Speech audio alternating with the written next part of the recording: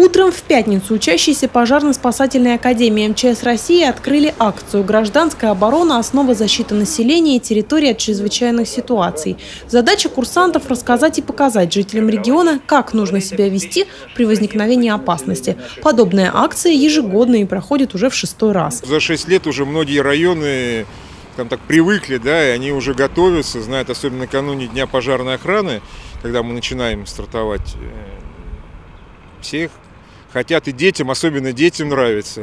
А дети – это будущее. Если мы научим детей безопасной жизнедеятельности, это будущее нашей страны.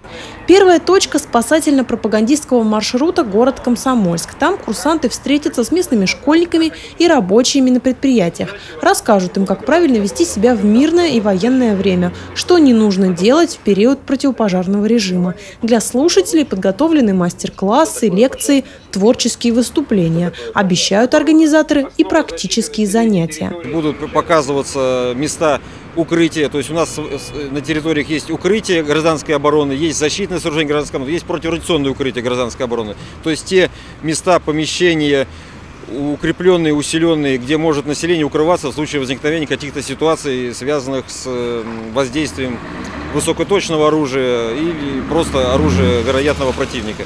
Это в особый период. Ну а в мирное время при возникновении каких-то ситуаций, связанных э, с аварийными, авариями на, с аварийно-химически опасными веществами, то есть химическое заражение. Каждую неделю спасательный десант будет выезжать в различные муниципалитеты. В планах с просветительской миссией посетить даже другие регионы. Финал акции традиционно будет приурочен ко Дню России 12 июня. Мария Смирнова, Антон Осипов, РТВ Иванова.